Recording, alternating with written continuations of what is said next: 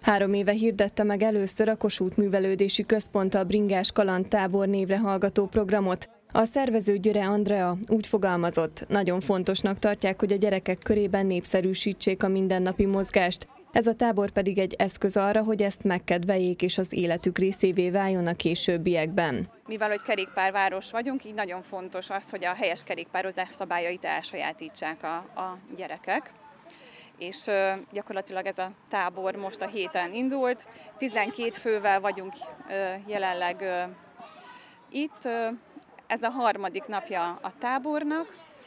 A tábor szervezésébe szokásunkhoz híven a rendőrséget is segítségül hívtuk, és Sós Zsanett van itt velünk, és a héten három fél nap keretében elméletben és egy kicsit gyakorlatban is megtanuljuk azokat a szabályokat, amelyeket így a napi szinten alkalmazni kell a, a kerékpározás során. Tegnap Sós Zsanett törzsőrmester volt a program vendége. A rendőrség egyébként a héten három nap is részese a tábornak. Sós Zsanett úgy fogalmazott, mindig nagy szeretettel fogadják a táborba való meghívást. Örülnek, hogy itt lehetnek. Első nap ugye nyilván a kerékpárokat regisztráljuk, illetve fölkészítjük a gyermekeket a biztonságos közlekedésre. Ugye itt a fő cél elsősorban ugye a közúti közlekedési jelzőtábláknak az ismerete.